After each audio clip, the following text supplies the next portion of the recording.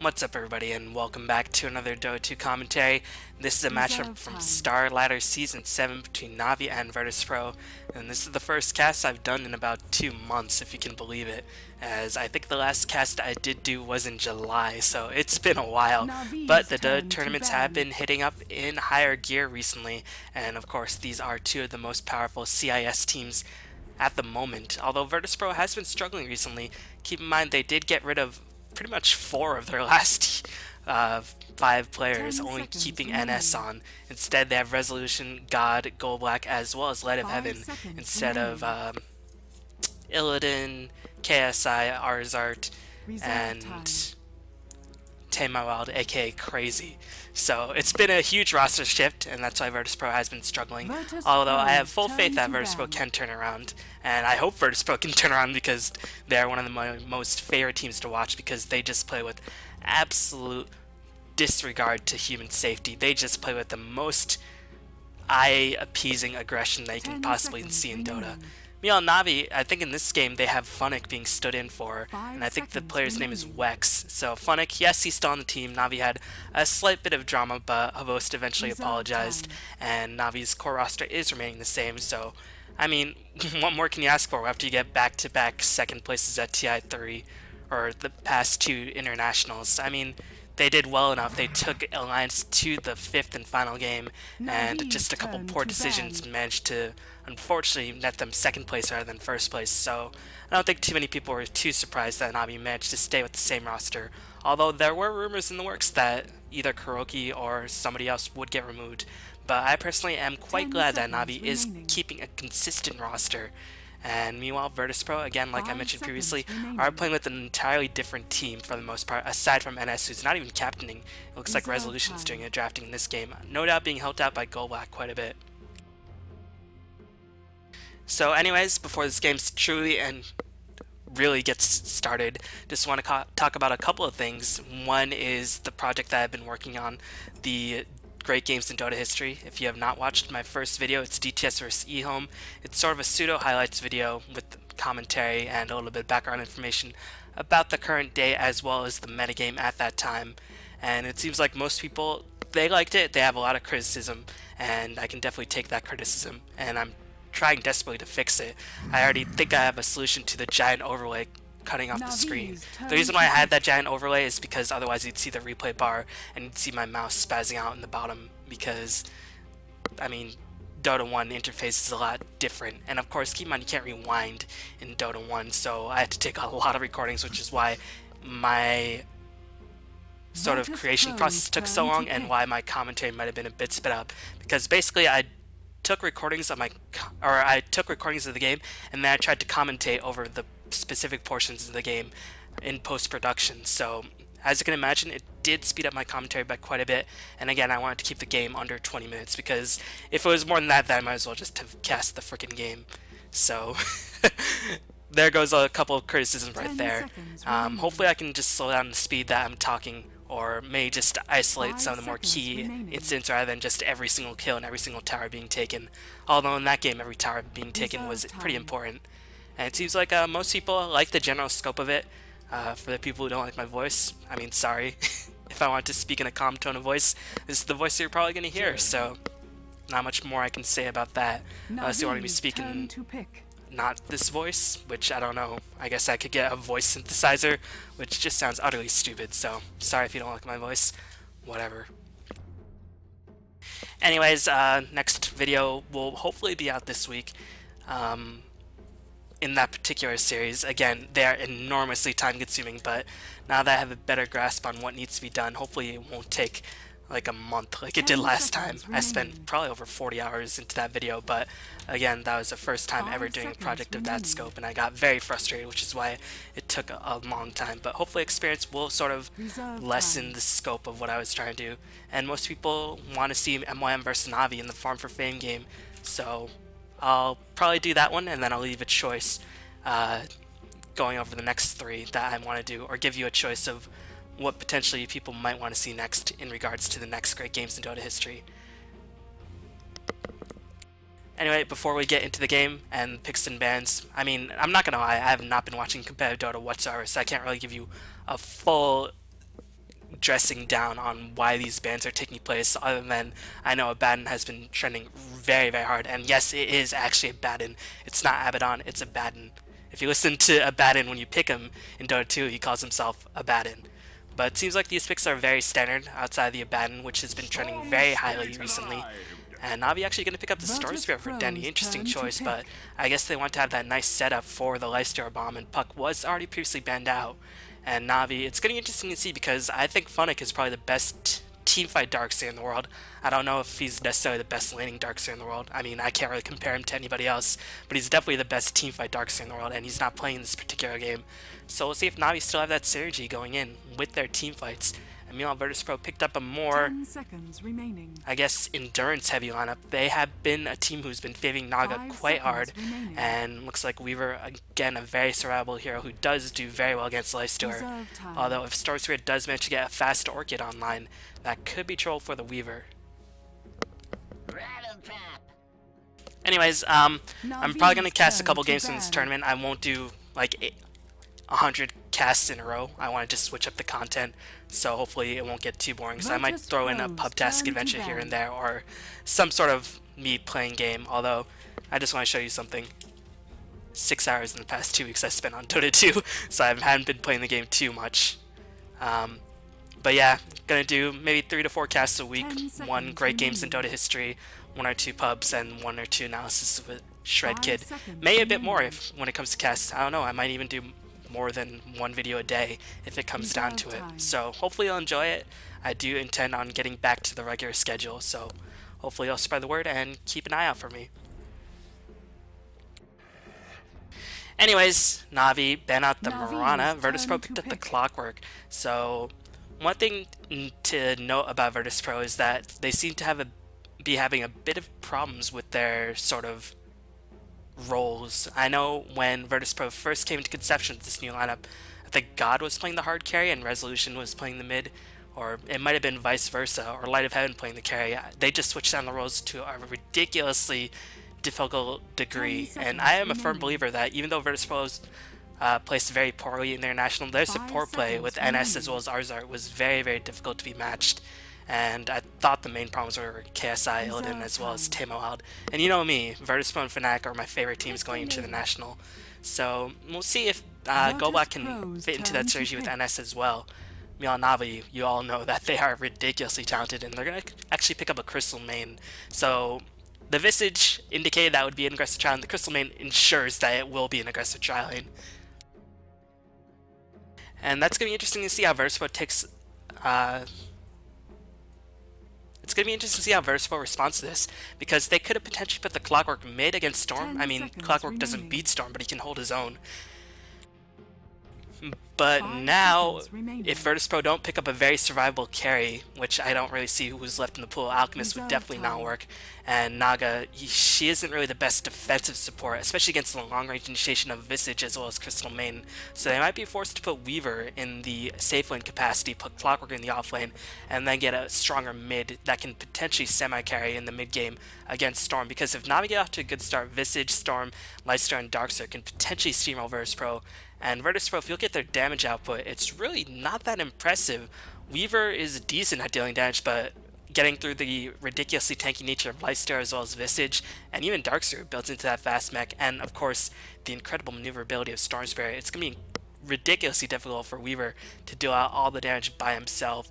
Clockwork, not really the best hero mm. against Lifestealer or Visage as well, and that's why Virtus Pro going to pick up the Queen of Pain. I think they realized they need to get some burst edge, and it actually will be Resolution playing that mid-solo co-op up against XBOCT playing the Storm. This is definitely going to be a role swap. Dendi is going to be playing Storm, and XBOCT will swap with the Lifestealer.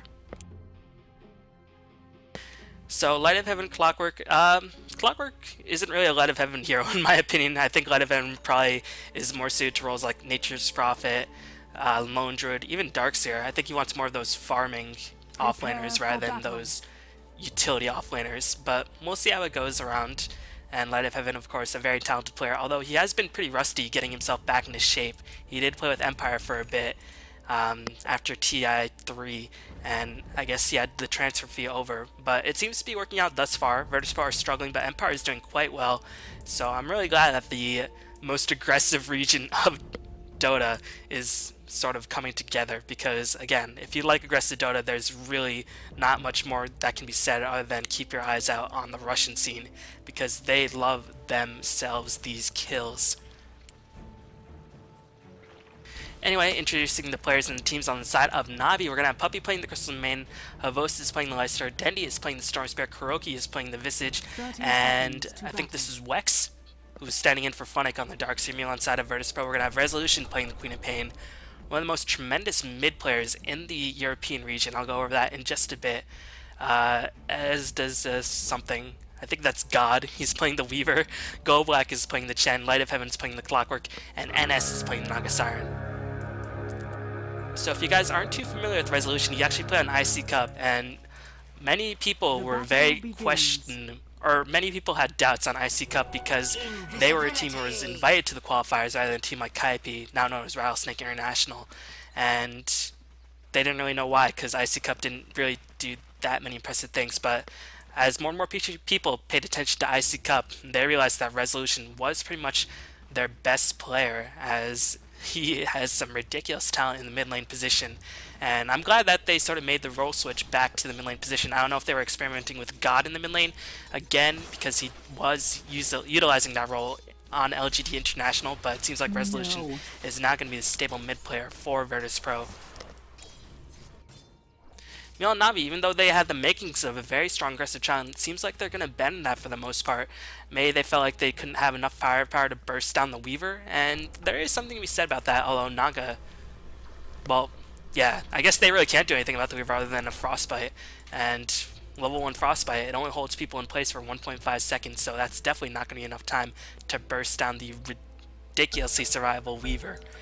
And meanwhile, Chen is just going to be very happy to defensive jungle it up. But I'm not too sure if this is the best play for Navi because, again, Virtus Pro's main weakness in the early game is their lack of damage, especially when Queen of Pain is sort of confined to the mid lane.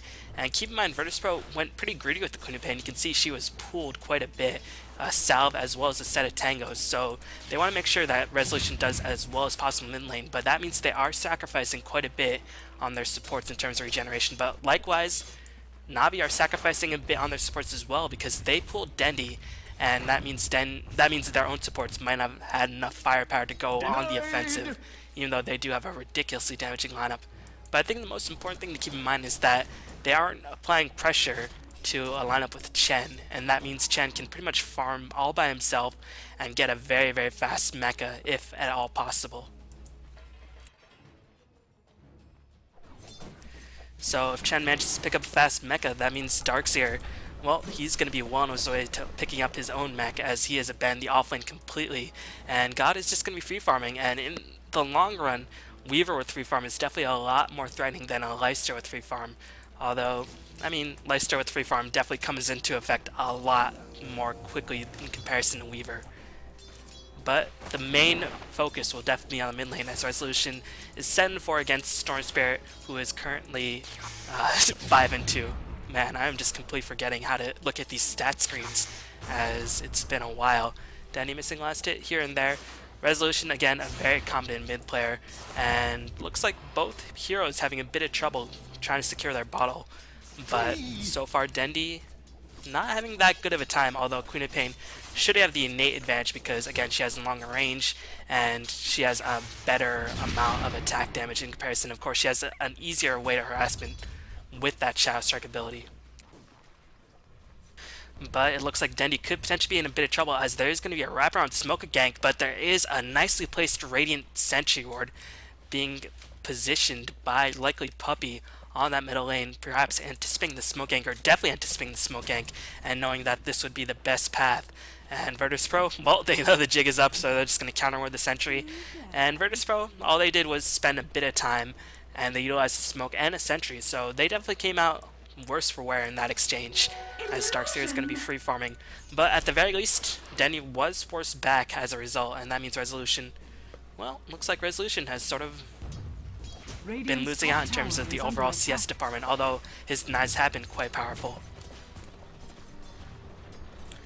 You know, Goblak seems like he's just going to be pressuring mid, just saying Dendi, here, I'm, I'm right here. What are you going to do about it? But Light of Heaven on the bottom lane, finally going to see some creeps die as Clockwork, in comparison to other offlanes, whether it be Lone Druid, Nature's Prophet, Darkseer, he can't go into the jungle. He just has to sit here and hope that his other team, his teammates can win the lanes, and that can sort of force pressure from the supports away, and then he can finally get some experience. And that's why you don't really see Clockwork as a permanent fixture in the offlane, because Hunter can usually get some form of experience by hiding in nook and, nooks and crannies. Nature's Prophet can go into the jungle, Darkseer can go into the jungle, and Lone Druid can go into the jungle. Clockwork cannot. Clockwork cannot jungle, so has to just sit in the lane until he dies, or until he just forfeits attack. life, I guess. But slowly but surely, looks like Resolution is starting to climb ahead of Dendi in terms of the CS department. Definitely has more denies and has a better CS score at the moment. But again, Storm Spirit isn't really expected to win most lanes. All he wants to do is hit that level 6, may get a bit of momentum, and Lifestealer should be hitting level 6 at around the same point. And keep in mind, Navi's definitely coming out ahead in the long run, even though the supports are getting a slightly lower chunk of experience, but Puppey is level 3, utilizing the Frostbite and neutrals, and KuroKy with the pulls is already level 4.5. But the reason why Navi is far ahead is because of their offlane. Their Darkseer is already level 5.5, meanwhile Clockwork is level 2. So Navi, if you take a look at the experience graph, is going to be well ahead. 750, almost 1k experience advantage at this stage is definitely nothing to sneeze at. So now that the first gank by Virtus Pro has sort of failed, I wonder what the sports will do to try to force some response by Navi. And usually the correct option is just to pressure this uh, offlane tower quite a bit. But it seems like Virtus Pro aren't too keen on doing that. They just want to get God as much secure farm as possible. Attack. But they are going to delay the effectiveness of Clockwork by quite a bit as a result, because he's not going to be getting experience, while Darkseer and even the sports on Navi are getting quite a bit in exchange. but looks like Weaver is outfarming XBOCT. XBOCT looks like he's just trying to deny a bit more rather than getting every single last hit, which is understandable. Because even though you might be saying, well, why isn't XBOCT getting every single last hit? He's not facing anybody. Well, technically he is, and he wants to control the creep equilibrium. He wants to make sure Clockwork gets no experience. Meanwhile, Weaver doesn't really care because Darkseer has not showed his face in lane whatsoever, and he probably knows that Darkseer is getting unmitigated amounts of experience in exchange. So he doesn't really have to worry about creep equilibrium, but XBOCT is doing the smart play, and he knows that in order to sap the levels of Clockwork as much as possible, he might have to sacrifice some CS here and there. So the fact of the matter is that he's only down by 6 CS is quite good. Meanwhile, KuroKy pops a Grave Chill and a Double Danger and gonna go to work on Light of Heaven. Light of Heaven should be okay. A bit surprised he hasn't popped the cogs just yet. But KuroKy just not able to get enough for his soul assumption. No, KuroKy is going to pick up the first blood. Bit of mistake by Light of Heaven. I think he could have potentially cast that cogs maybe over here and got the pushback. I don't know why his cogs are so late. Maybe want to save as much mana as possible. Definitely a miss by Light of Heaven. But again, he is in an unenviable situation. He cannot do anything except to not die. And Unfortunately for him, he did die. So, life is pretty hard at the moment. Meanwhile, it seems like Virtus.pro starting to finally get some momentum on the top lane, but you can see the immediate rotation by Wex the Darkseer, as he is already in position to cast Ion Shells on the creeps. And although NS is here with the Riptide, and they have a Ring of Aquila to boost up the armor of the creeps, I think this tower push can be defended, even though there is a siege unit in place question is how fast can these creeps die? The double Ion Shell definitely going to work on this creep wave, and this tower will in fact be defended. Y'all are going to see a bit of movement by Dendi, but Resolution just going to blink on out of there. You saw Puppey rotate through, but I think they probably knew that they wouldn't be able to catch Resolution. Just looking to apply as much pressure as possible, just keeping Resolution on his toes. And Dendi getting out old by a full level in response. But again, Queen of Pain is expected to win mid lane battle against Storm Spirit, as they're going to see it engaging the jungle. Puppey in a lot of trouble, but just simply not enough damage, as the Frostbite will go to work on this neutral creep, and I'm not too sure this neutral creep will die. No, it's going to get away just fine. But Virtus.pro definitely need to do something. Clockwork is not doing anything Visage is level 6 and is actually going to hit level 7 very, very soon. Meanwhile, Clockwork is still level 2.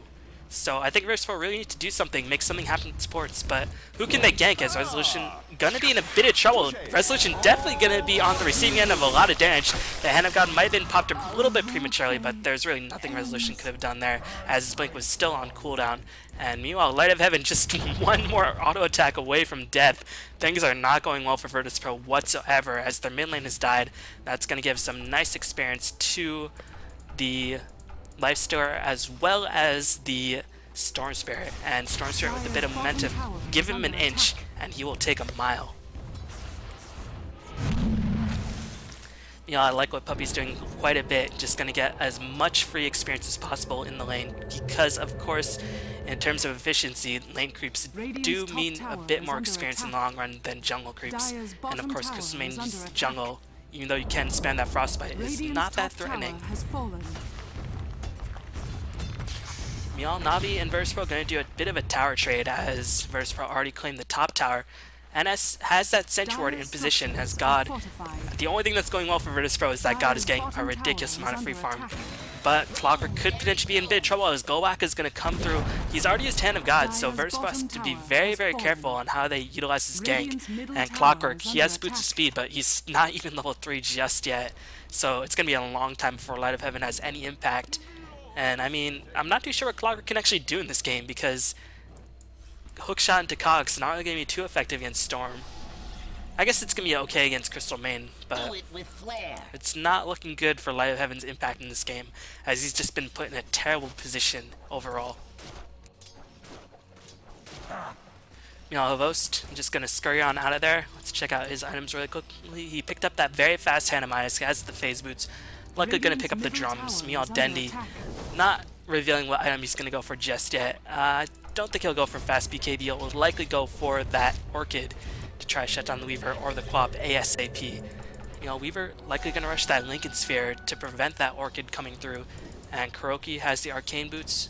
Darkseer only 200 gold away from finishing the mech. So overall, Navi definitely coming out ahead in terms of engagements, but in terms of the late game possibility, if Weaver is allowed to go unchecked, then you might be able to favor Virtus.pro slightly, although Clockwork and Chen do fall off quite a bit. So I'm not too sure who wins in the late game, but at this pace, Navi should have the mid game firmly in their grasp because of the ridiculously difficult time Light of Heaven is having up on that bottom lane, although he's finally managed to double his level count to level 4, and immediately just going to back away knowing that XBOCT can potentially just kill him off very easily. But he's going to scout the Familiars, and the Familiars is going to do a couple pot shots here and there. You know, I'm a bit curious to see what Resolution will rush. I mean, fast BKB against Crystal Maiden as well as Storm Spirit could be very, very useful, but getting an Orchid against Storm Spirit is also going to be extremely useful. And I'm not too sure what Resolution will rush in this case. Usually if you get an Orchid, you want to rush it ASAP, but I don't know if Resolution really needs to fear the ganking power of Navi. I mean, of course, there's a Storm Spirit, as well as a Frostbite to keep the Crystal Maiden, or to keep the Queen of Pain in pace, but I don't know if that justifies a BKB just yet. Know, KuroKy, probably gonna go for a Medallion. Uh, Puppey, just checking out his items, has Smoke Bracer, already level 6, Chen, well, Chen is level 8, and this is just... I am honestly baffled. This does not look like a CIS game. Of course, you know Virtus.pro for playing super aggressive, but they played a very defensive lineup. Naturally, Weaver is pretty defensive by nature, Naga is one of the most defensive supports by nature, and Clockwork not really the most aggressive offlaner either, so Virtus.pro sort of pigeonhole themselves with their picks. They can't really play super aggressive, but maybe that's what they want. Maybe they want to play a more defensive Radiant's style against Navi. Is under attack. You know, we're going to see a surge forward by Wex on that top lane. Just going to clear out the creeps with the Ion Shell. And if we take a look at the levels, you can see that Navi does have a firm grasp in the level department, but finally Virtus.pro do have access into that Song and Siren. Although, do they have enough chain stuns to keep the heroes locked in place? Well, it's going to be a lot more difficult now that the mech's up on Darkseer because even if they do have enough stuns, a crucial Radiant's timing of that mechanism could attack. preserve the life of a teammate. Now Navi going to smoke up XBOCT. Did finish the drums, going to go for the armlet, and Dendi what's he got delivered towards him. Still not showing what he's going to go for just yet. Maybe he wants to buy an Oblivion Staff right from the get-go. But Navi going to make an movement towards the bottom lane as Dendi's going to break the smoke. And Light up having good recognition knowing that everybody's missing, says, I should probably stay all the way back here. And meanwhile, Virtus Pro in response were smoked up, planning ward right here. So both teams just playing some mind games, but this might be the start of a team fight. Although I think Navi definitely going to be in a better position as this tower well, looks like Verspro just going to trade once again. Dire's bottom tower is under attack. Yep, as Navi to claim the tower a bit sooner, although the Chen Creep's definitely to accelerate VP's push. And looks like the towers are to fall at almost the same time as Goblak did pick up the last hit. Goblak will have the mech up relatively soon, as that's to be some good news for Virtus Pro. But still, Virtus Pro drawing out the game for Weaver to get farmed. Definitely a strong option, as Weaver is going to have a pretty nice timing on the Linken's Sphere. 110 CS already up on God. But in exchange, Navi going to get another tower towards their names, and that is just going to fuel the gold intake by Dendi as well as Vost to a ridiculous amount, and I wouldn't be too surprised to see if Dendi finally buys an Oblivion Staff after this tower has been taken. I can't imagine Dendi really needs to rush and fast BKB in this game because, I mean, what he's really to BKB away from Naga Neck is not going to stop him as we're going to see a teleport in. NS going to get the Song of Siren. Radiant do manage to get the tower as the cogs are not properly positioned by Light of Heaven. Here comes Go Back Vacuum, but there is no wall yet up for the Darkseer. Hand of God going to be used as right now Host is just going to work on NS, does pick up an Infest kill, and is now going to turn his attentions on to Goblak as the puppy paw is going to come in at the wrong time for Virtus Pro as resolution calls for lags. And I don't know, there is a net on the Vost. He's already used his Infest. The birds have 58 damage, couple hits. Yeah, Goblak if he's hit by the birds. Will be dead, so Light of Heaven as well as Weaver should turn their attentions on to killing off these familiars at all costs, but if they do that, well, Goblak's dead regardless because Dendi is zipping in with the Storm Spirit. And Darkseer hasn't even used his mech. So this should be an utter steamroll for VP. You could definitely see where they want to go in. They want to sleep and deny the tower and then probably just get the heck out of there. Because Light Heaven's not even level 6. The Cogs definitely weren't in position. As maybe it was just to zone out the other team rather than trap somebody in them. Because again, he's only level 5 and Clockwork level 5 compared to a level 11 Lifestealer. And even a level 9 Storm Spirit just simply cannot do much. Queen of Pain does have the ultimate and has the Sonic Wave as well, but she's not even level 11 either. So yeah, I think Pro just want to drop the song and then just get the heck out of there. But getting the heck out of there against a Storm Spirit and a Darkseer is never going to be an easy option whatsoever.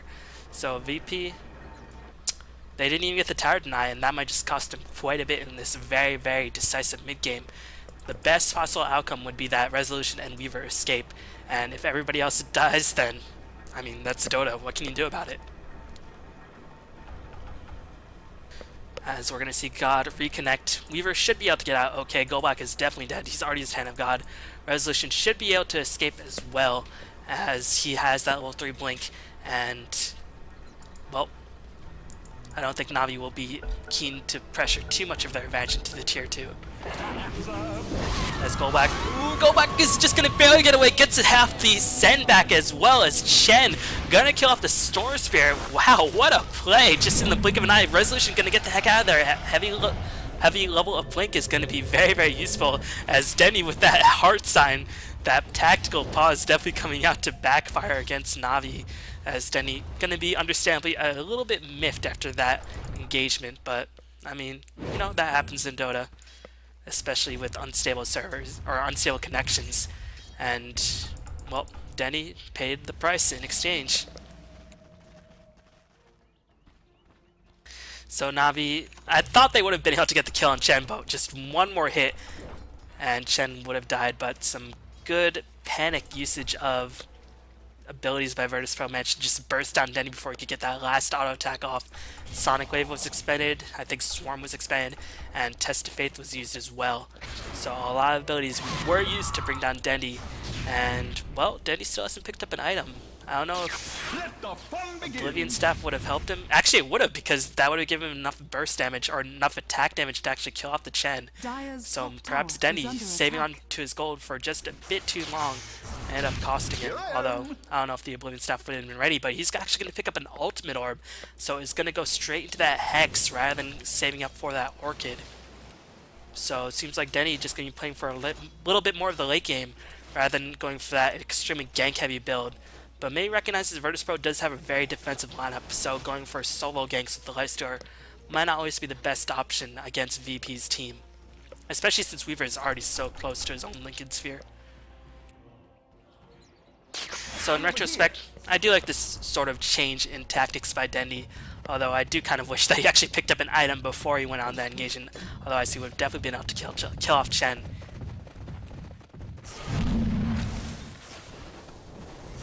Still, VP definitely dodged a bullet. They only escaped, or they only had one casualty in that engagement, which was Naga Siren. Queen of Pain gonna get very close to that level 11 as she already has two components towards that BKB. Weaver gonna have the Linken Sphere finished in about 220 gold or so. You know, Chen has the Mekansm finished and also has access into the Hand of God once again, Light of Heaven, almost level 7. But I'm really questioning how Clockwork can actually impact in this game rather than just hopefully isolating Lifestealer. But we're gonna have to see as XBOCT finishing the arm, I'm gonna go straight into the Basher. Not gonna go for the Super Race card S and Y belt. Instead, just looking to get as much lockdown as possible. And I think against a Linken Sphere Weaver as well as the Queen of Pain, having a Basher is going to be very useful. I mean, you're a life Lifestealer and having high move speed is going to be very useful, but there's only so much move speed you can have up against likes of Weaver as well as Queen of Pain. So going for the fast Basher might be the best option in this situation as I don't think Navi are clearly intending to finish the game ASAP, so he's not going to go for the AC.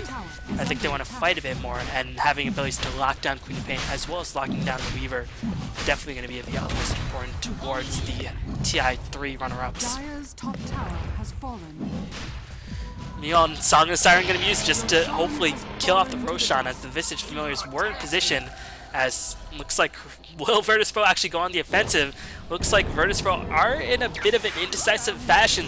Going to zip all the way up onto the high ground. Mekansm already going to use by Virtus.pro as Light of Heaven with a nice cogs to isolate the rest of VP. But a beautiful vacuum by Wex. Sonic Wave going to be expanded. Hand of God to be used as well. Goblak going to be the first one to perish in this engagement. NS going to die to the freezing field as well as the Lifestealer damage. But we were going to get a response kill on Dendi as it's going to be a 1 for 3 thus far. Darkseer does manage to kill off the Queen of Pain as we were still trying to go in. Can he actually finish off the Crystal Maiden. He might lose his Aegis in the process, and he will kill off the Crystal Maiden, but here comes XBOCT. The Aegis is still online. He wants to kill off KuroKy, but does he want to lose the Aegis in exchange? He is going to lose the Aegis in exchange. God going to pick up a triple kill. So when everything is said and done, it's going to be a 3 for 3? 3 for 3, as Light of Heaven, did he buy back? He did not, so it's going to be a 3 for 3, and Weaver did not use the Aegis. So that was almost dead even. Both offlanes survived, both supports died, both mid lanes died, both carries survived. That was actually the most even fight. But I think you've got to favor VP slightly because Storm Spirit died almost at the onset, and Weaver was able to pick up a triple kill, which is going to increase his damage output by a tremendous amount after getting that much gold. So Virtus.pro going to definitely come out in the advantage, and also very fortunate for VP is that that familiars were just not able to get enough right-click damage off on Twitter to even trigger his Aegis. So VP definitely looking pretty strong. The only thing I'm a bit worried about is that the Clockwork and the Naga really just not having an impact. Naga, all she's doing is casting Song of the Siren, hopefully nagging the Lifestealer, and then just dying, which is all well and good, but you're going to have to have a bigger impact as this game goes on if you are a Naga Siren. Checking out the uh, gold graph, you can see Navi do have an advantage, but that could be largely because of their additional towers they have claimed thus far. You can see that Virtus.pro have only claimed two towers, whereas Navi have claimed four. Yes, indeed, I can count. And the experience graph definitely going to be a, a, bit more telling on how this game is actually progressing, as the experience graph is slightly in favor of Navi due to their high level supports, but again, Weaver getting a triple kill. Not going to look good for Navi as this game goes on, as he is going to likely pick up... I don't know. Will he pick up a Demon Edge? Will he go for maybe some evasion, go for the butterfly against the bashes of the Lifestealer? I'm not too sure, as Darkseer is going to pursue the issue, and we're going to see a Storm Spirit Bomb coming in, as here comes a vacuum. Is there a wall? The wall is not going to dropped, because Darkseer is going to die at the immediate beginning of the fight. God taking a lot of damage from XBOCT, but his rage is timing out. God could potentially be in a lot of, or XBOCT is going to potentially be in a lot of trouble. Now his rage is out. 17 second cooldown is quite a long time, and XBOCT likely going to perish. Yes, XBOCT indeed will die. Clockwork actually going to get himself stuck in the trees, as Sook was just simply off the mark. And we're gonna see God keep on the pursuit. Crystal Maiden gonna drop one last remnant of the ultimate, and actually NS gonna burn a level 1 ultimate to try to kill off KuroKy, but we'll see if this is actually worth it in the end, as that ultimate will not be online for another 170 seconds. But Goblak gonna pick up another kill, and Virtus.pro just steamrolling Navi in these team fights. Engagement definitely not to Navi's liking. I think they're really counting on the wall to disrupt a lot of Navi's or a lot of Virtus.pro's momentum in that team fight. But Virtus.pro utilizing their mobility as well as their wall of chain creeps and their immense amount of burst damage just simply destroyed the Darkseer before he could even cast the wall. And Darkseer, recognizing how important he is in a team fight, not only to get off that wall, but also to pop that mecha, gonna pick up a very smart Ghost Scepter. Still, the damage has been done. Virtus.pro definitely to be in a pretty significant advantage. VP, they did, wow, they didn't even use the Aegis, but the Aegis is going to time out very, very soon. So there's something going slightly in Navi's favor, but something going even further in VP's favor is that now Weaver has a Desolator, and that means Lifestealer can't really survive as much as he previously hoped to, especially since he went for a more offensive Basher build rather than a more defensive AC build. So I'm a bit scared for most in these team fights, but Navi won't be facing an Aegis Weaver anymore. Radiant's bottom tower is under attack. You know, Light of Heaven gonna pick up the Ogre Club. Um, I think he's gonna go for his own BKB. I don't know if this is an Aghanim Scepter Rush. A lot of Clockworks will Bulba, especially do like to get that BKB up on the Clockwork, just so he can survive. And again, Storm Spirit, the majority of his damage is magical, and of course, being able to withstand the Soul Assumption as well as the Vacuum and the Frostbite and the main damage, gonna be very useful for Clock, even though he doesn't do that much damage. Just being able to survive and cause havoc is pretty much all Clockwork can hope for. And Navi making a smart maneuver, gonna go for a tower trade, but VP just pushing down towers simply too quickly. And they're gonna use the last remnants of the Aegis. Navi gonna be in a lot of trouble, can actually defend against this push. They are gonna be facing Hand of God, although the Aegis is gonna time out relatively soon. The question is how deep will God go for this tower? As, well, his is going to time out in a matter of seconds. Can he actually clean up this tower, or will he die? He has to be very careful. He's going to be forced to use time-lapse. He will use the time-lapse, as his is still online. I don't know if using that would have been the best choice. Supposed is going in. NS just getting bashed into oblivion. Here comes the vacuum. Where's the wall? There's the wall. Mekansm going to use his wall. Hand of God going to be popped by Goblak. Darkseer going to be picked off as Deadly taking a lot of damage. Resolution as well as Light of Heaven just taking way too much. Goblak will be the next one to perish as God is just going to get the heck out of there. And you see the perils of fighting against Darkseer choke point. Well, that just wasn't pretty. Although, I'm not going to lie, XBOCT got a lot of bashes on NS. That was very unlucky for the former Virtus.pro captain, as he just got bashed over and over again. But still, damage has been done. The tier 3 did die, as, ooh, a rebuttal kill being picked up on Light of Heaven. Clockwork just not in good time. These hooks are not very impressive by Light of Heaven, but again, I don't know how much Clockwork can actually do in this game, to be quite frank.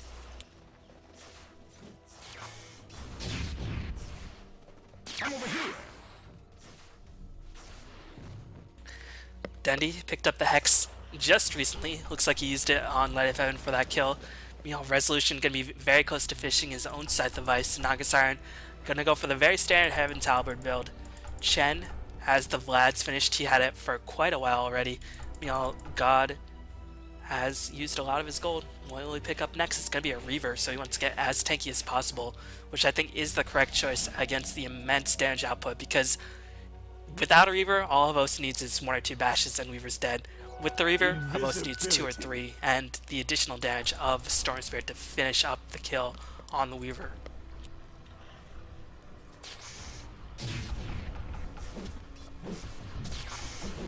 You know, XBOCT getting very close to that Abyssal Blade. Puppey has Ghost Scepter himself as Navi is just rolling in the gold. Uh, checking out the items on KuroKy, he's fished Medallion, he fished it quite a while ago as Darkseer. Well, he's been dying, so his item progression has slowed down very, very precipitously, although I don't know if that's actually the right word. And you can see the gold graph. Still favoring Virtus Pro ever so slightly, but that last team, almost team wiped by Navi, gonna make themselves have a slightly higher experience advantage when everything is said and done. And you can see the limitations of an underleveled clockwork. What can he do? He drops the hook, or he misses the hook, which Live Evan has been seeming to do in these games. Drops the cogs, and he dies. Because that's all Clockwork can do. I mean, I think Clockwork is a fine hero. I just don't know if he actually does anything against Darkseer, against Lifestealer, against Storm Spirit. He does well against Crystal Maiden. Not so well against Visage, because Visage nukes have very long range, and you can of course use the familiars even after you are trapped in the cogs, so I don't know, this is just not a good Clover game, but Light of Heaven has definitely not been making things easier for himself, as he has whiffed a couple of hooks. Still, VP definitely in a decent position. Their Weaver is getting very, very farmed. And if we check out the net worth, you can see Weaver is actually ahead of Leicester, despite Leicester picking up a very, very quick hand to Midas. But now Leicester has the Abyssal Blade. So that's going to be another extra bit of lockdown. If they can manage to lock down the Chen, there goes so much of Virtus.pro's team fight potential out of the window. Because that Hand of God as well as the Mekansm, 450 points of healing, or 550 points of healing rather, is just way too much to be ignored, as it looks like Resolution did unfortunately die for himself, utilizing that display to the fullest, as we're going to see an incredible zip. Here comes the Abyssal, here comes the Hex, as that was a very easy kill for the Navi friends. So Dendi is actually going to go back into a BKB, an interesting decision. Maybe anticipating the Queen of Pain Hex, but really, what will BKB do? It won't do anything against Net, it won't do anything against Weaver. Well, KuroKy could potentially be in a bit of trouble, as KuroKy going to pop the Grave Chill, and we'll get on out of there. So nice usage of that Grave Chill to get, uh, get the heck away from Weaver by KuroKy. Now, good micro by KuroKy is going to keep the familiars in an appropriate position so that they will spot out any Roshan attempts. And I severely doubt Virtus Pro will go for that Roshan without Pain being alive.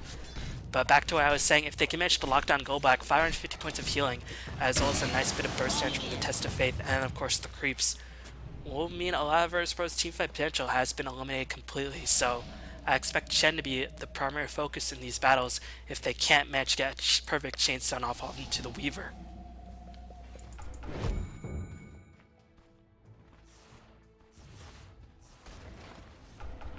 Now XBOCT, now that he's finished the Abyssal Blade, likely going to go for an AC, so the armor will be buffed up. And if you look at Virtus Pro's line, Riptide does minus armor, Deathslayer does minus armor, Swarm does minus armor. That is a lot of minus armor coming through. As Dendi gonna go back into the BKB, has the gem, Weaver now finished the heart. So having the Heart of Tarrasque online means that, well, you kind of have to focus the Chen or the Naga Siren rather than focusing the Weaver, because otherwise Weaver will just time-lapse, and there goes your usage of Abyssal Blade as well as Hex, as Navi definitely do not want to be throwing those usages away.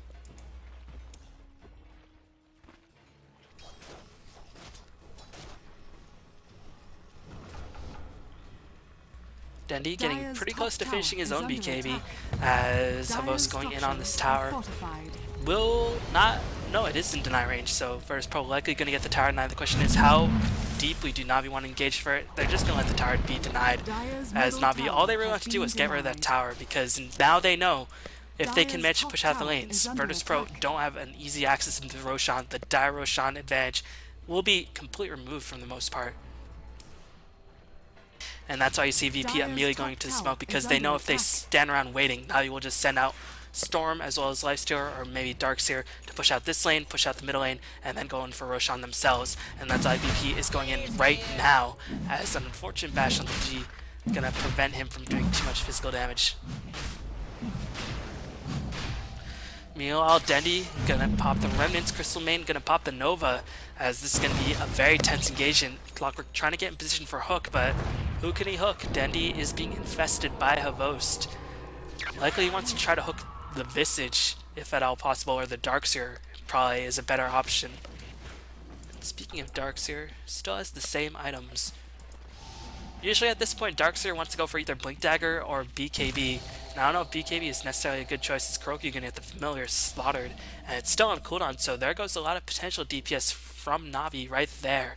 So Virtus Pro, gonna be Light of Heaven. I don't know, these... I don't know if this is necessarily Light of Heaven's fault. It's pro it's his fault because he's not communicating with this team. But Mei said, alright, Weaver, move, and then he just missed the hook. But if he managed to get the hook onto Kuroky, that was a definitely a dead Visage. So miscommunication by both Weaver as well as Light of Heaven. Definitely going to be the downfall of Virtus Pro. At least in that particular moment. As Queen of Pain has now finished the Hex. And you can see these lanes, all Navi need to do is send one person down, but they don't have anything like a Nature's Prophet and they don't have a Keeper of the Light either, so they have to sort of devote themselves fully. Otherwise, they could be in danger of getting themselves caught out by a 5v4 Song Siren initiation. As Smoker Seat gonna be used, and Navi, I don't know if the familiar spotted it, I think it was slightly outside the vision. No, they didn't spot it. As here comes the engagement. Here comes Storm Spirit as well as Leicester. As they're going to get the Mekansm off. Visage going to be the first one to die. Here comes the wall. Resolution going to be the next one to die. Didn't get his ultimate off. Light of Heaven going to die as well. Hand of God going to use his God is going to take so much damage. And so far, Navi definitely coming out ahead. And you can see right now, VP are pinched off by the wall. First hit bash by XBOCT? No. No such luck, but Virtus Pro definitely came out in the disadvantage. The only bright spot is that BKB was not used by Queen of Pain, but in exchange, Navi gonna find themselves a Roshan and Aegis of Immortal up on the Lifestealer. So a really, really weird engagement by Virtus Pro, as you could definitely see where they came from, but you saw the position. Storm Spirit just zipped in, bypassed any sort of blockage by the side of Navi. And, ooh, Abyssal going to be used by God, but they don't have any detection. Oh, that's unfortunate because that Abyssal will be down for the next minute. And that could be the minute that not or Virtus Pro needs to get themselves into fighting shape because Queen of Pain will be back on with that Scythe of Ice as well as the Sonic Wave. And we'll see how Navi want to approach this next couple of seconds as God could potentially be in a bit of trouble. The familiar getting picked up once again. Here comes Hex onto God, as here comes the hook onto Puppey, as well as Dendi. A good hook by Light of Heaven as they manage to kill off Storm Spirit almost immediately, but Resolution taking way too much damage in exchange. Puppey getting the next one and die. Light of Heaven with the Battery Assault is going to secure a kill, and now XBOCT looking for a kill, trying to get the bashes off into NS, prevent the net as he's going to get the Abyssal off onto NS. NS will just barely be able to escape, and Navi gonna lose this engagement massively as Navi, they shouldn't have taken the fight without the wall, but I think they knew if they backed off, they would have the Aegis away from Virtus Pro since Queen of Pain was respawning. And the Visage Familiar is just being absolute food, as we were going to pick up the Aegis Immortal and a Familiar for his troubles. And now it's safe to say Virtus Pro have a massive advantage, as they are looking very, very strong. The only thing that Virtus Pro have not shown themselves able to do is to get themselves a good fight when Wall of Illusion or Wall Replica is up.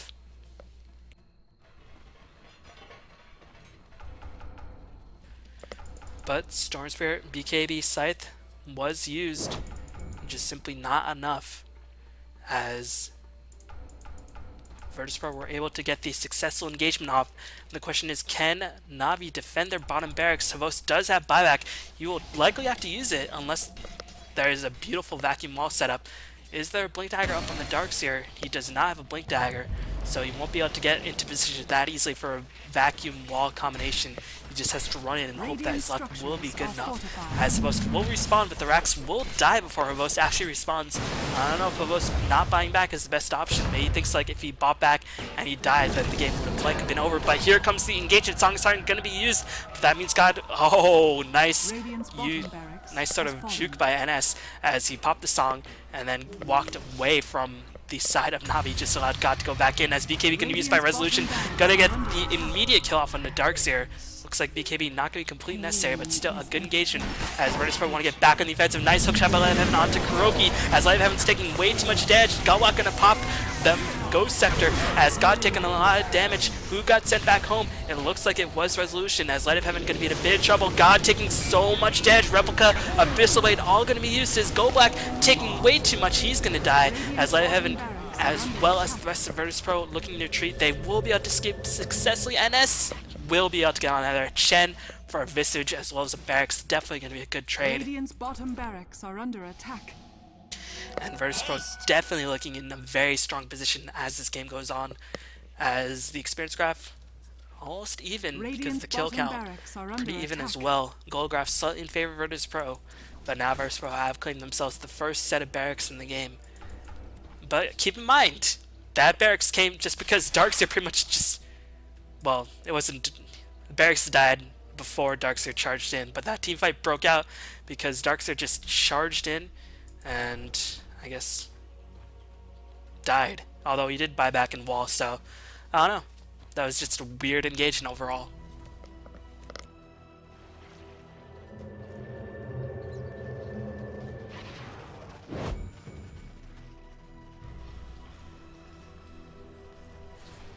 So checking out XBOCT items, still has the Abyssal up. Again, likely gonna go for the AC as Smoker to See can be used by Navi. And the question is, will Virtus Pro be caught off guard? They don't have the Song of Siren to bail them out, although they will have it very soon. They have the gem up on the Naga. Keep in mind, Dendi did previously buy a gem. He still has a gem. Is this VP's gem?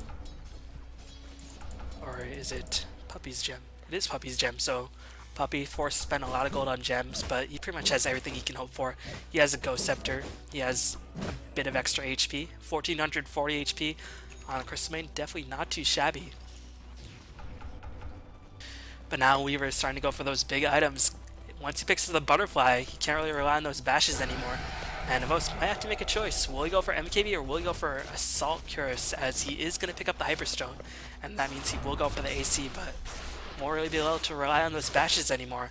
And I think Weaver, once he picks up the Butterfly, all he needs is either a BKB or maybe an MKB, and he will just be an absolute monster on the map to deal with.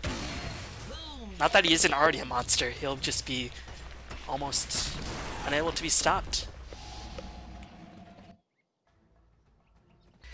Aegis still has around a minute and a half online as Virtus Pro gonna group up. Chen gonna go for the Aghanim Scepter. You know, any item progression on resolution? No, not at all.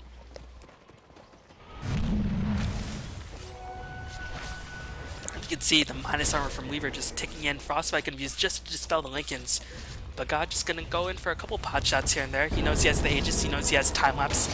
Again, Weaver, very, very pesky to deal with. And that tier 3 tower definitely to die. The question is, can Navi get denied? Here comes Zippin by Dendi as well as XBOCT as the Song Siren going to be used to try to isolate off XBOCT. They are to get the bashes off on. Goblak going to pop the Ghost Scepter. He's to pop the Hand of God. They are to kill off XBOCT. Here comes Dendi. Wall Vacuum to be used, catching majority of VP. Storm Spirit to pick off Chen as Meow and Puppey going to run around Ghost Scepter. God forced to use the time lapse. The Aegis going to time out relatively soon. Light Heaven trying to get in position. Does get the hook shot as well as Cogs off. They kill off the Visage, but the Filler is still doing work. God still chasing, but Darkseer just simply too hard to catch up, and God simply left out by his lonesome as Weaver forced to skull on out of there. No more ages. Radiant's middle barracks are under attack. And that means Navi managed to get off a successful defense as they fought that fight without XBOCT, who was forced to use buyback. Still, good focus fire by Dendi and good usage of, or good focus fire by Navi to try to kill off the Chen, who again is one of the most important targets as I don't know if he used the mech, he definitely used Hand of God. And now VP, they wanted to try to end the game off that Aegis, but now the Aegis is going to time out, and the question is, will they be able to get off another flawless Roshan engagement, or will they encounter a bit more resistance from the side Navi, as that Aegis pretty much meant that God could do whatever he wants, but now he's got to be a bit careful, as now he has to start saving for buy, and all that jazz as he is approaching his item slot limit. But still, you can definitely be assured Virtus Pro still have a heavy advantage. Although if you look at the experience graph, it's almost dead even. Gold graph only ever so slightly in favor of Virtus Pro, and at 40 minutes in the game. 5k gold difference means absolutely nothing. It just relies on execution. As Light Heaven's starting to hit his hooks, which is very good news for Virtus Pro, but now you can see once Weaver, or once Weaver and Quap use their well, once Quap unloads the majority of her arsenal, how will VP kill anything when Navi pop their Ghost Scepters? Because after Quap uses all her stuff, VP doesn't do damage outside Weaver, and that's why everybody's picking up a Ghost Scepter. So the name of the name name of the game for Navi is Mass Ghost Scepters, as more Scepters, less problems is going to be Navi's motto in this game. Pain without consequence. you know, for Navi, you can see that Naga Siren's starting to withstand the initial barrage, and that means the nets are off on XBOCT, and they can't. Navi can't really win every single fight without XBOCT like they have been doing.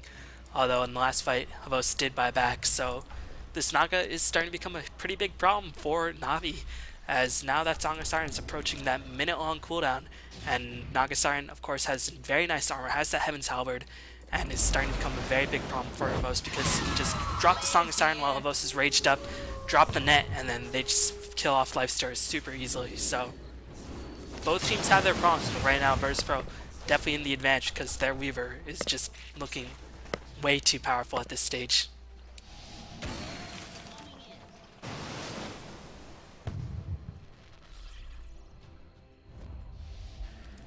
So another smoke deceit can be used. I don't know if the Clockwork Rocket did spot out. I don't think it did, as Navi looking to get off an engagement, but right now they are fighting without any vision, as Dendi still has a gem, and Dendi is going to go for the Shiva's Guard to buff up his armor. But meanwhile, Pro is going to do some team ancient as Navi just simply cannot find VP at this stage. And VP, they know what Navi's doing. They're like, wait, why aren't Navi defending their freaking middle barracks and their tier 4s? Let's just stay together and go on to a high ground position where it's difficult to fight us. And Navi sort of forced to back off. They have to respect the power of creeps, pushing in on their buildings, as well as pushing into their tier 4s.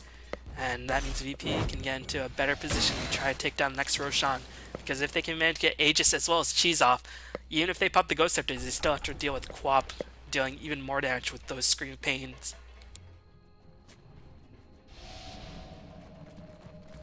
So I wouldn't be too surprised to see if uh, Resolution actually picked up the Aegis and God picked up the Cheese. Bit surprised to see that Naga Siren is picking up a Staff of Wizardry, going to go for a Force Staff rather than something like uh, something more of a semi-carry build, whether it be a Diffusal Blade or Manta Style, because having a Diffusal Blade against all these Ghost Scepters is definitely going to be a huge boon for Virtus Pro.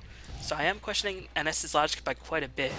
Still, having a Force Staff against the likes of Lifesteal are definitely going to be very, very useful as well. So both of them have their trade-offs, but considering the amount of Ghost Scepters on the side of Navi, if I were in NS to choose, I'd go for a Diffusal Blade myself. And of course, as soon as I say the amount of Ghost Scepters on Navi, I realize that they only actually have two. But one of them is a very important target, which is that Darkseer.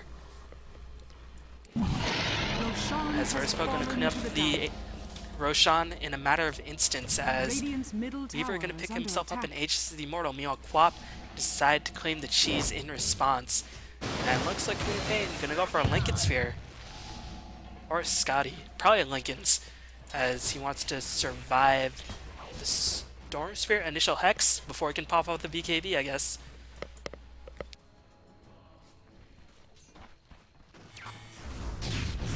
you know, smart play by Navi. They're only revealing Dendi on the bottom lane because they know Virtus Pro won't engage upon Dendi, and they know Lifestar is likely in Dendi, so they can't engage upon Dendi regardless of the situation.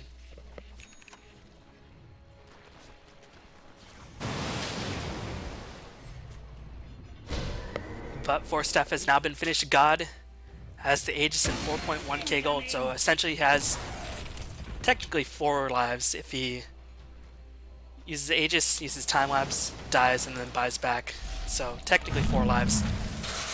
As God gonna take a bit of damage, not gonna be too threatened by it thus far, although he is at 3 quarters HP. Light of Heaven gonna miss a hook. Here comes the vacuum as well as the wall, perfectly placed by Wex. As here comes the Hand of God, gonna be used. Queen of Pain gonna be the first one to die. He's gonna actually buy back, as Light of Heaven's gonna be the second one to perish. That Song of Siren did absolutely nothing, as the majority of Navi were just in a very, very good position. And actually, the Cogs gonna work slightly against Virtus Pro as a complete and utter massacre for the Russians.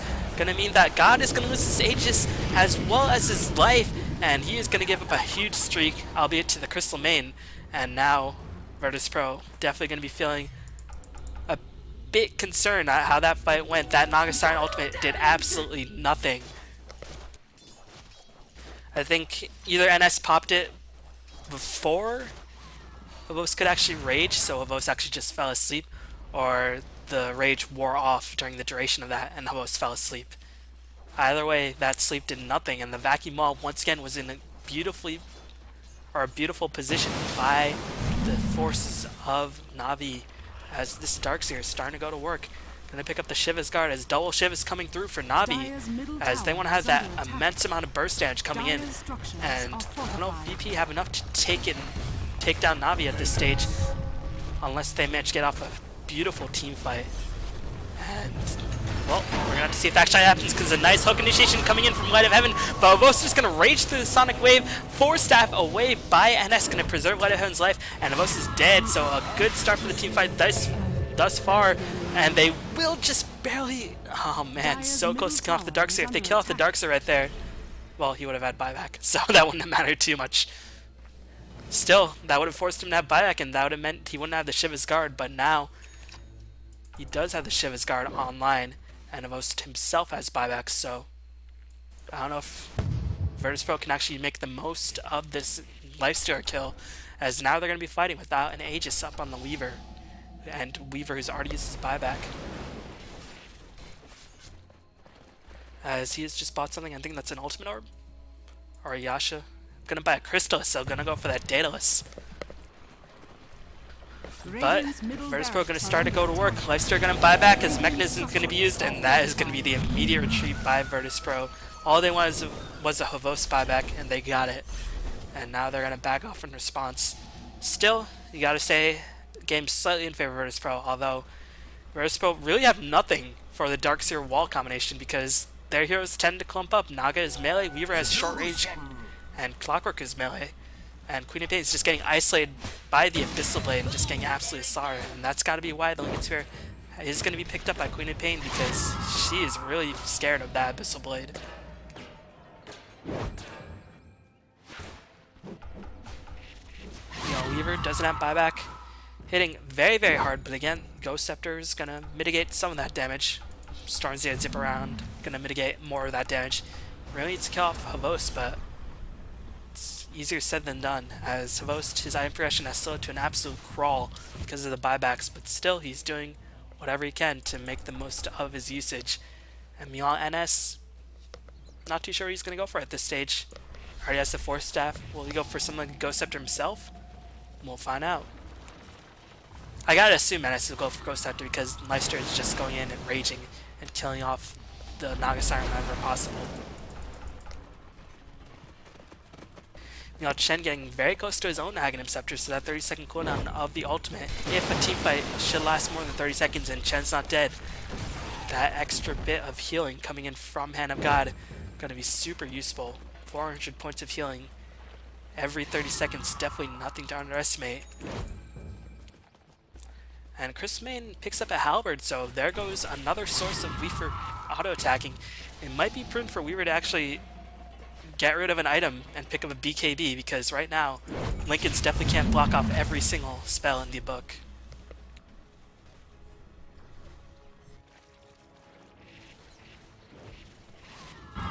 Still Virtus Pro doing a nice job retaining map control. Still have a slight gold advantage, experience advantage ever so slightly in favor of Navi, so right now it's definitely definitely too difficult to tell who actually has a solid advantage, although you gotta say Virtus Pro have the advantage just because, well, more buildings are dead on Navi.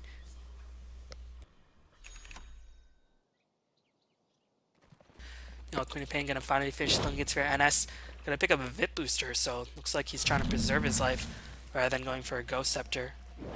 And I guess that makes sense against Visage as well as Storm Spirit having extra of life rather than having that 30% magic damage boost is going to be more important rather than physical attack immunity as Virtus Pro to smoke up. This could be the climactic team fight as both teams in a very tenuous position, but Navi clearly feeling the pressure a bit more as the going to pop. They're to focus down Dendi, or as they are to try to do as much as they can. Dendi's to pop the BKB. The wall, the vacuum, the Shivas, all on point. Ridiculous amounts of damage coming through from Navi against Virtus Pro. They are going to kill off the Chen.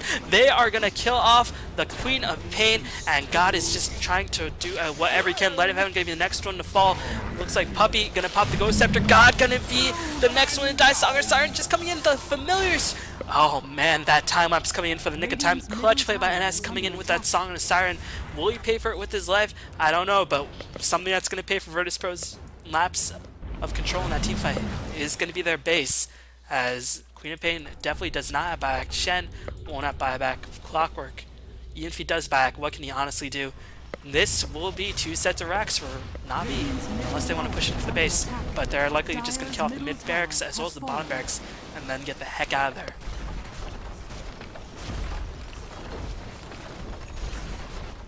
So what went wrong for Virtus Pro? Obviously, they couldn't kill off the storm.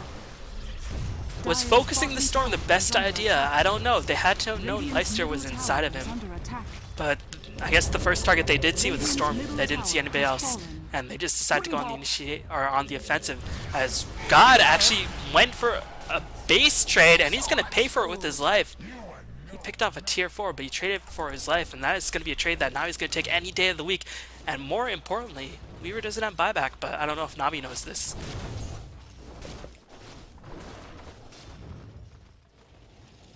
Well, they should know he's dead for next 20 seconds. I'm sure they wrote down the wrote down the buyback timer for Weaver. But may they figure they can't actually get in position to punish Virtus Pro for God's over-aggressive play. But still, Virtus Pro got something at the very least.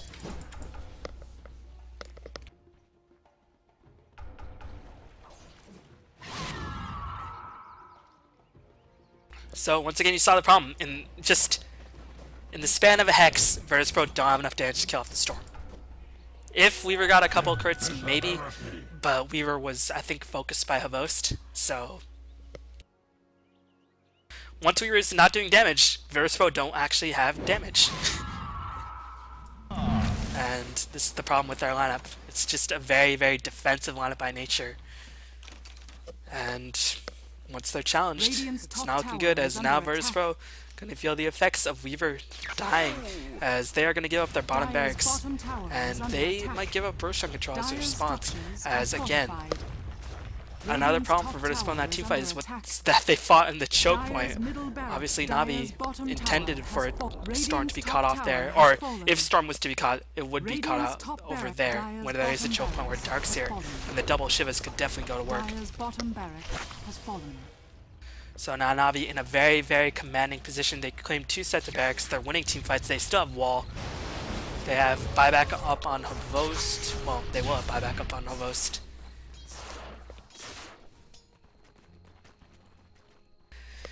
But Virtus Pro, they will have Roshan control up relatively soon. The only problem is that, ooh, actually we might be able to get uh, get buyback before this Roshan fight does break out.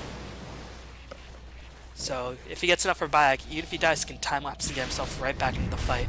But looks like Virtus just going to clean it up without any sort of response by Navi. An interesting maneuver by Navi, but I guess they just simply weren't able to challenge it.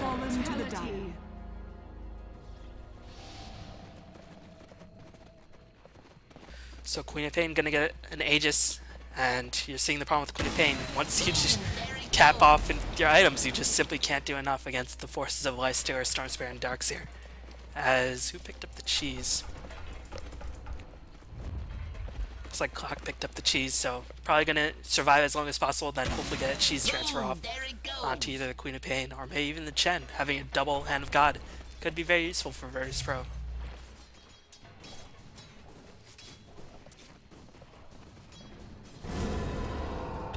Man, my voice is dying. It really has been a while since I've casted. As KuroKy gonna get on hookshot gonna be used as there aren't any force staffs for Navi. Good initiation thus far, but KuroKy gonna be sent to sleep. XBOCT gonna be kited away.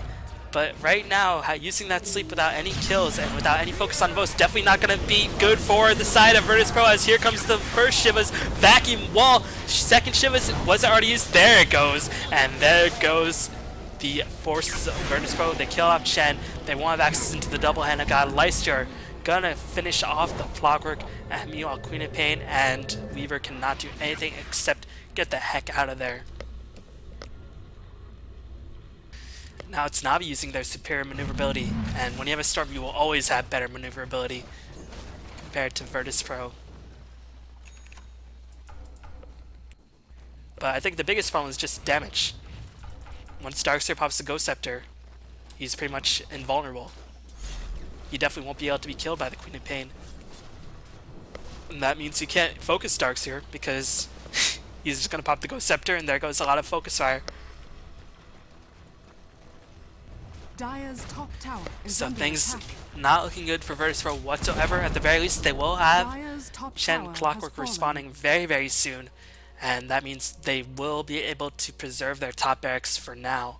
And they also didn't use the Aegis, nor did they use the no, they did use the cheese. Clockwork did use the cheese, trying to preserve his life for as long as possible. But the tier 3 tower definitely going to fall. Going to find himself Great Shield. Bos just simply does not care. Going to go in for the barracks. As XBOCT going to find himself Heaven's Halberd. Going to get himself netted up as well. He's probably going to die. This could be the start of an opening for Virtus Pro. Looks like there is an infest going down onto a creep. XBOCT going to pop right back out, but is at a very, very low HP. First hand of God coming through. Will Virtus Pro be able to survive for the next 30 seconds? No. Going to be the next one to die. As Light Heaven to get sent right back home. God gonna die. He's gonna buy back. Can he himself right back into the fight? He has Shukuchi. Of course he can get himself right back in the fight. He's freaking Weaver. As Resolution taking way too much edge. He is gonna be forced to use Aegis, but here comes G. If G dies right here, that will be the end of Virtus Pro, but Navi just simply do not have enough gas in the tank to withstand G's physical damage output. Dendi gonna buy himself right back on out of there, and that means the top lane will be preserved for now. The question is, did XBOCT die? I think he did, and that means he's buyback. So the next team fight gonna mean absolutely everything. But considering how these last team fights have gone, you've got to be favoring Navi by quite a bit, as the Filler is going to get himself a nice set of range barracks for their troubles, and they're actually going to escape as well. So good job. Dire's middle tower has fallen. The question is, will Virtus Pro force the issue? I think they have to. They can't fight against a double Lifestealer buyback anymore because for, they'll just go in for the base, but these familiars going in, chipping away at the buildings, then going back out, renewing the damage. Uh, there's nothing Virtus Pro can do about this.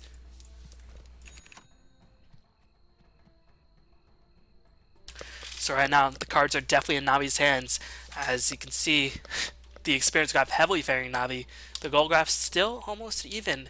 And if we look at the levels, you can see across the board, well, they are favoring Navi by quite a bit. but Everybody's over level 16 as this is turning to be a very tense game. But again, the usefulness of Queen of Pain has ended. It's pretty much just Weaver. And Weaver can't do everything by himself.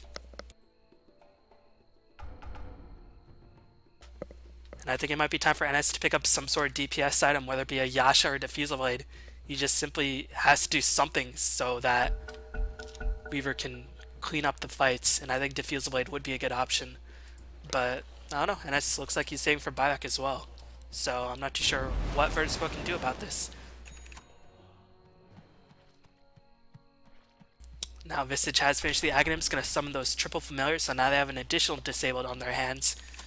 And looks like Virtus Pro gonna push the issue.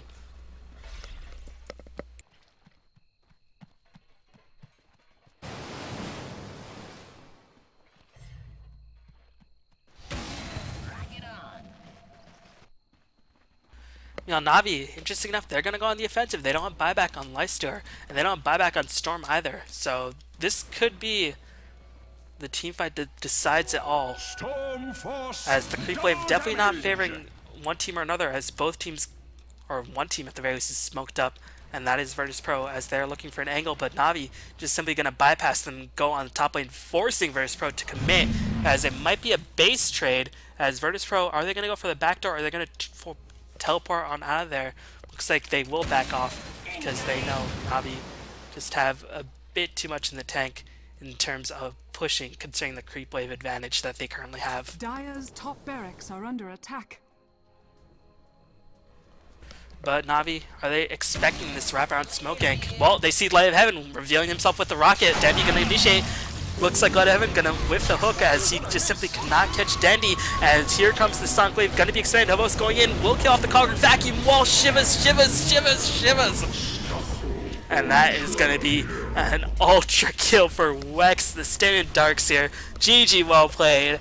And that was some nice Dota to behold. As I can't say either team necessarily played badly. I think in the end it just came down to Virtus Pro's picks biting them in the ass. Outside of Weaver, there was just simply no damage coming in. And that means Na'Vi could just withstand the barrage. So, good game to come back to casting too. it was good time to exercise my casting chops because my voice is almost dead. And usually I could do, you know, two or three of these one hour games by myself. But now, I'm just a, a poor babby with these casts, but hopefully you enjoyed it. We'll see more Star Ladder casts in the very near future. So thanks for watching, and I'll see y'all next time. Peace.